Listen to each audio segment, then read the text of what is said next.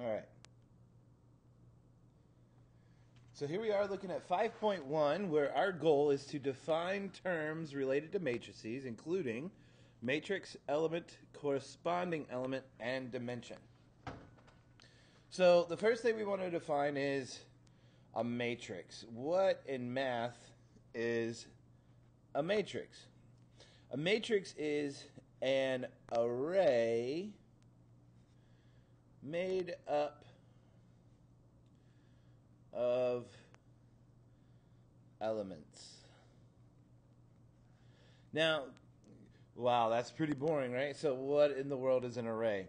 Well, an array is like um, an organized set of dots or anything of that nature. So, this would be an array.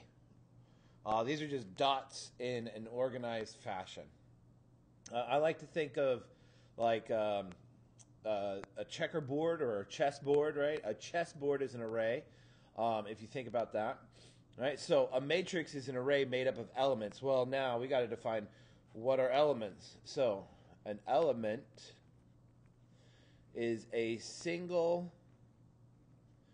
entry in uh, a matrix. And I want to be a little bit more specific. So this can be, so it can be any expression. So most common, like 99.999% of the time, we're going to be looking at uh, numbers. Sometimes we'll look at variables. And other times we could look at that as expressions that are a little bit more complex. Like numbers, for example, like 0, 11, 22, right? Whatever. Variables like x or y. Expressions like 4z plus 1. All right, so this would be a single entry. Okay.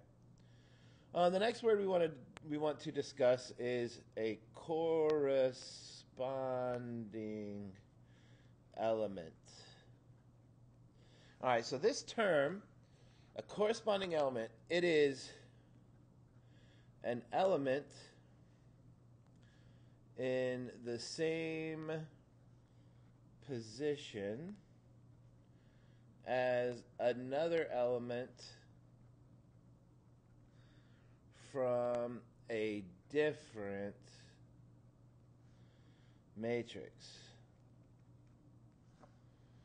All right, so they have to be in the same position. So if I had two different matrices, so if I have this array right here, and let's come up with another array, two, two, two, two, two, two, two, choo, choo, choo, choo, right? I have two different arrays.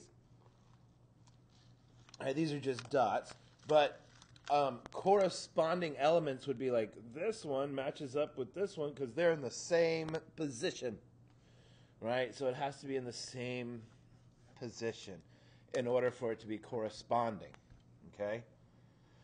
All right, so um, the last word that we're going to dis- define is dimension. So the dimension. This is the size of a matrix. And that's really all we're going to say about that. Now, it's very specific. How we talk about the dimension, it is always going to be in row by column. Okay? So this is the word by. And I can I have to emphasize here this is not multiplication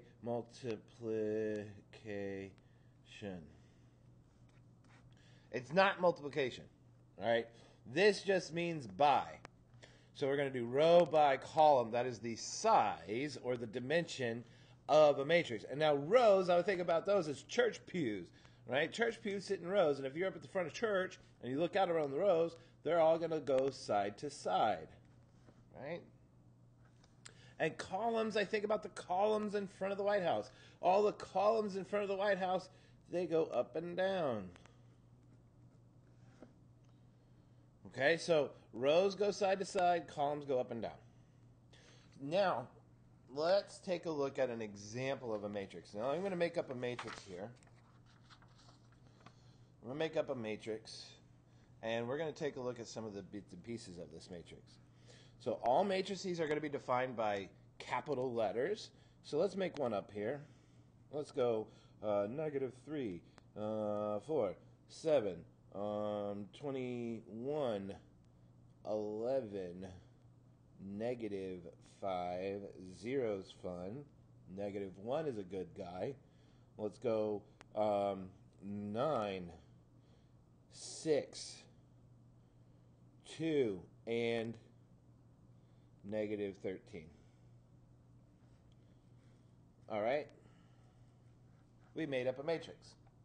Now, the first thing we want to say, but this is the matrix A, right? So it's a capital letter, matrix A.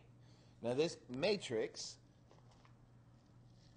eh, the size of this matrix, or the dimensions of this matrix, so let's take a look at the number of rows. Okay, again, rows go left to right. So this has one, two, three rows. So the dimensions or the size of A is a 3 by, so we have three rows. Now, how many columns do we have? Well, we have one, two, three, four columns. So this is a 3 by 4, right? Three rows, four columns. So that's the dimensions or the size of A. Now let's take a look at some of the elements within A. All right, so elements are going to be defined by a, uh, subscript numbers, right? And they're going to be in the form of rows and columns. So whatever the matrix is will be here. This is the matrix. And then the, the first number is going to be the row that we're going to reference. The second number is going to be the column that we're going to reference. Okay? For example, um, you might get a question that says, you know, what is um, A sub 2, 3? Okay, all right. So, matrix A, here's matrix A. The second row, so I need to go, there's row 1 is at top, so we go top to bottom, left to right. So, row 1, row 2. So, I'm looking in this row, and I'm looking for the third column. One, two, third column. So, second row, third column, A sub 2, 3 is 0. And if we had something that said A sub uh, 1, 4, all right, first row, 1, 2, 3, fourth column, that is 21. Now, if you get something silly that says something like A sub 4, 3, well, wait a second. It's fourth row, third column. 1, 2, 3. Well, there is no fourth row. So there is no fourth row, then this does not exist. Okay? Another question that I might ask of you is this a square? Is this a square matrix? Now, what would make a matrix square? Well, the only way that we can make a square matrix is to have the same number of rows and columns. All right, so let's write that down. Square matrix has same number of rows and columns. Well, this was a 3 by 4. There's three rows and four columns. That's not the same number. Therefore, this is not a square matrix, so my answer here would be a resounding no. Okay? Um, that should be enough to get you through the first homework, so 5.1. Again, as always, if you have any questions, make sure you ask.